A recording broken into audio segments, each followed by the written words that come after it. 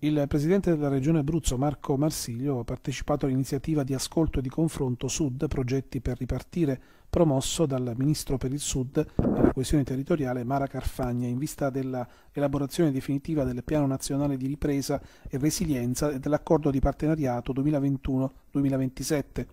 Nel suo intervento il presidente Marsiglio ha ribadito che oltre alla questione meridionale va affrontata anche quella che riguarda la coesione territoriale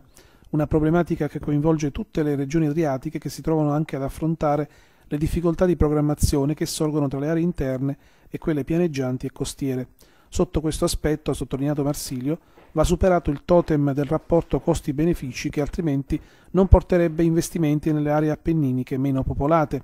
Per favorire gli investimenti sui territori, il Presidente della Regione Abruzzo ha inoltre evidenziato che bisogna lavorare sulla eccessiva stratificazione della fase progettuale, non servono leggi speciali, ma basta seguire un esempio già utilizzato in occasione degli interventi per realizzare la rete ospedaliera Covid, utilizzando le leggi di semplificazione che già esistono attraverso l'utilizzo di appositi commissari, interventi che darebbero un notevole impulso alle economie del territorio.